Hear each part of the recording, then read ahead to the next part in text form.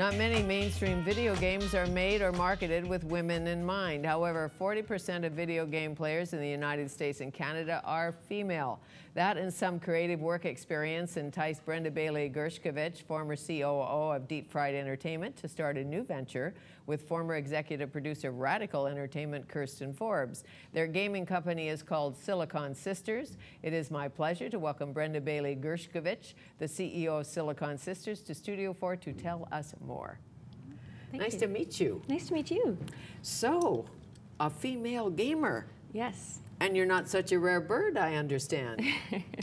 We're becoming less and less rare. Mm-hmm. Yeah. How did you get into it in the beginning? In the beginning, oh, well, I actually um, was drawn to games when I was a young girl. And um, that's a long time ago, in the in not it. that long ago, trust Well, me. Well, back in those days, you had to actually go to an arcade to play games. So it's, it's changed a lot. Now I have, everyone has a gaming device in their pocket. Yes. But back then, you'd have to go to the arcade and put your quarters in. And I really enjoyed games. Um, you know, I, I remember when Pong first came out when I was in grade five. So I, I was a gamer from the very beginning. And then, like many people, especially women, uh, went through a period where I didn't game at all. And I think that that paralleled a time in the in the industry where the games industry became very uh, focused on building games for men and boys, and we kind of got lost for a while. And I think that's changing. But you uh, did play men and boy games. Yeah, but not not as much. You know, not as Mm-hmm. much. I, I, I went quite a while without playing that many games. Mm-hmm. I think um, Nintendo products appealed to me, but the the vast majority of games that guys were Sure. playing didn't. Maybe Tetris. I love Tetris. Maybe Scrabble. Oh yes, Okay, but it seems to me, watching my grandson yes. Play these games, there's aliens and war and murder and crime and racing, and he's always killing something. Yes. What about girl games? What's Well- the essence of a good girl game or a woman game? Well, and this is a very interesting question. Um, one of the reasons we formed the studio was that I was sitting in a conference about games, and I, of course, was working in the guy game world and building baseball games, actually, was what I was doing. With deep fried. With Deep Fried. We did baseball games and racing games, and the, which was great fun, but they weren't Yeah. Mm-hmm. games that I was particularly compelled to play. And I was listening to a lecture by Bill Mooney, who's a higher up in Zynga, very successful company. And he was saying, you know, video games are really about us playing our fantasy. And he talked about, you know, you can be James Bond, you can race cars through the streets of Milan, you can, all these wonderful things you can do. You can be a hero in World War II, you can, and he went on and on. And I thought, these are male fantasies. You know, what, what have we really done to build female fantasy? And what is that, anyways? right? Exactly. Good question. What do women What really want? Yeah, what do women really want? Mm-hmm. And I don't have the answer to that, but that's the question we're playing with. So it's interesting because what, what we've done with Silicon Sisters is when we got started, we spent about six months researching the question of what makes men and women different in the way that they consume games. Mm-hmm. And it's, there's, there's fascinating research out there. There are actually games studies programs in universities, just like there are movie studies programs. Sure. So um, we looked at about six months worth of research and built what we call our Games Bible. And we took that research and boiled it down to things that were unique to women and how they engaged with this content. And now we're taking that information and translating it into games. So, in the games Bible for women, Yes. what are the rules? What uh, i i we're putting together, and I know you are, you're putting together School 26. Is, Yes. is this your first one? It is. Okay, tell me about School 26, and then we'll figure out what the elements are Okay, that make it good. rock. All right, okay. So School 26 is uh, the story of Kate, and Kate has, poor kid, been to 25 different schools already. Her parents are psychic healers, and they're always trying to find a town that has the right feel for them to build their, their clinic, and they're always getting run out of town. And, and Kate's really at the end of her tolerance with this. And she makes a deal with her parents that in this current town, if she's able to connect with the kids at the school and, and make strong friendships, that she'll get to stay there till she graduates and not be moved around mm. anymore. So Kate's very compelled to, to build strong relationships. But the school that she comes into, the kids have a lot of problems and issues. And it's not dissimilar to most high schools. And so Kate goes in with the goal of of really solving some of those situations in order to build strong relationships. So, what's unique about this game is that the primary tool is empathy. How great. So Kate is the amateur psychologist, as all Pretty much. women are. Exactly. We tell our girlfriends everything on the school bus from the time we're about six, That's right. don't we? We do. And then they help us Yes. solve all the life Exactly. problems. So we're social engineers, That's exactly correct.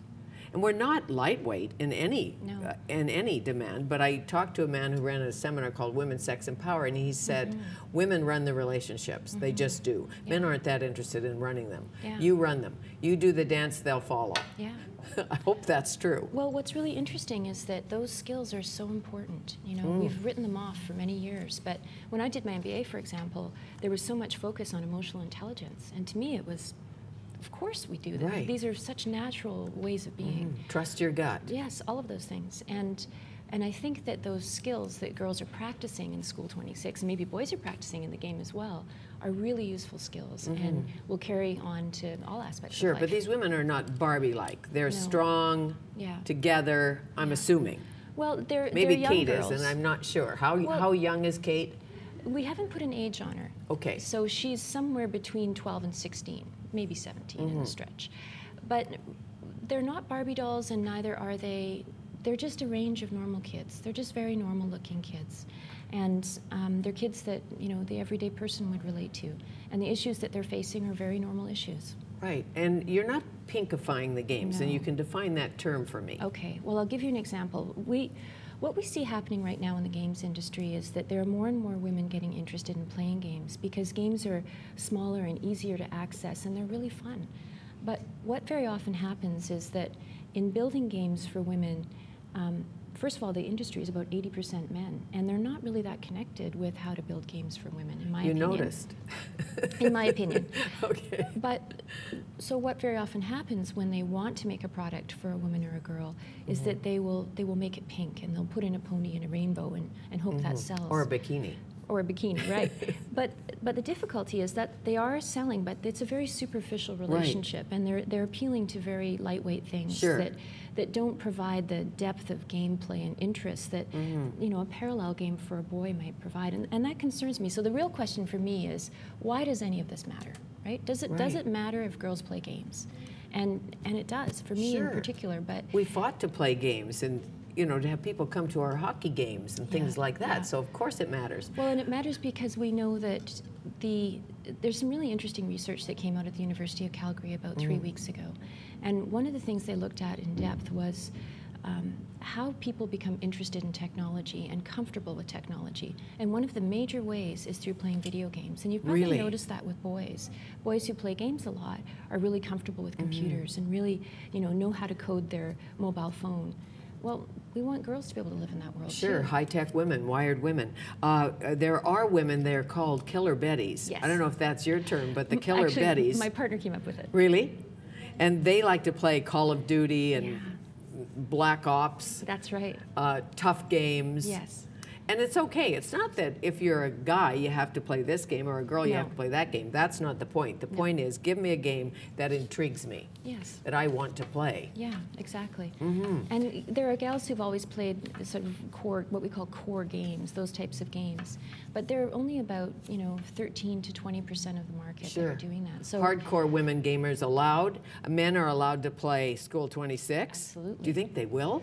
Well, it's interesting. I, I have a son who's 19 who's at uh, university, and he came home and tried the game, and he found it a little tough. And he said, "Mom, this is interesting because this might even help me, you know, deal with the relationships in my life." And I thought, "Wow, that's that's an interesting secondary market." Uh huh. And well, it's a safe place to do it. Yes. Because they may not want to ask their mother or their girlfriend or talk to their uh, golf buddies about what's going on in their life. That's right. But if they get a little hint Yes. from uh, School 26, Sure. well, Yeah. why not? What have you got another one planned? What's the future? Yes, we do. So it's in the works. It's in the works, yeah. Our next game, actually, I'm the target audience for. It's sort of mid 40s women, and um, it's it's a fun game that's about the crazy juggles in life that we How do. great, and- multitasking, yeah. yummy mummies. Yeah, yeah, yeah. And it's just Mm-hmm. a fun, laugh out loud kind of stress relief game. How great. Because again, when you need some relief Yeah, from the kids and the dogs and the driving and the Yeah. job and the exactly. the husband. Yeah. Why not play a game? exactly. And there's unisex games like Scrabble, solitaire, things like that. But this is like gaming games. This is like Yeah. action, yeah, right? yeah. What? How big is this business worldwide? Billions? Oh, $38 billion industry worldwide and growing. 38 billion. Yeah, yeah. Mm, how many women are in it? Well- designing games? Fewer than we would like to see, Hmm. actually. So um, it really depends on, on you know which survey you're looking at, but generally it's less than 20% of the development community. And there's recently been a study out of the UK that shows it's as low as 5% there. So Really? we're, we're quite underrepresented. So uh, the Silicon Sisters aren't underrepresented. No. Are you? No. Uh, do you? I, I know you don't go out just to hire women. That's not We the don't, point. The point no. is if you find a woman who's really into uh, technology and designing, because it's artistic. It would seem to me artistic, Absolutely. intellectual, Yes, very much so. playful. Yep. So the way that we've approached it is, um, I believe that men can make good games for women if that's something they're interested and passionate about. Because we have a great capacity to empathize. So we can imagine ourselves as someone else and build something for them if they're passionate to do that. But most guys in the game industry want to build games that they want to play. That's why they came into the game industry. So it is tough to find folks who, who really want to build, you know, a game for girls.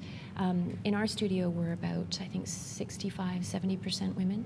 And the guys that are working for us are wonderful and huge contributors I'm and sure. really enjoying what they're doing. And it must be fun. It is fun. Like work should be fun. We know that. And I know it's a lot of work work because you have COOs and CEOs and bottom lines and budgets and all of that and distribution. Sure. What it takes to get it off the ground. Yeah. But the Silicon Sisters, uh, somebody wrote, perhaps yourself, aren't just a couple of geeky girls with blind ambition. I hadn't heard that. You hadn't? It says right here both women have championed making games that resonate with the female audience. Great. It's great because you know they, they've changed the Barbie doll. She has a briefcase now. I saw I saw Barbie, uh, Dr. Barbie on TV recently. Did you? Yeah, so Barbie's a doctor now. Yes. So in no way is, is this demeaning to women. It No. just says, hit me where I live. Yeah. Hit me how I function. Yeah. I, I, I can be the premier of British Columbia. I may Mm-hmm. do it differently if I'm female than the last premier of British Yeah. Columbia. And equally as effective as the last premier of British Columbia. Absolutely. We're just claiming a larger range. Right, it's not a gender issue in any way. No. Do you have a favorite game you play? Are you addicted just a bit? Actually, one of the things that prompted me to start Silicon Sisters was I became quite addicted to a game called Portal. And it's not a game that someone like me would normally play. It's you, you know you've got you're shooting and you're, but you're using um, blasting to move your way through and to find puzzles. Right. And it's a fascinating game. And when I was playing that game so much, I kept bumping into other women who were playing Portal as well.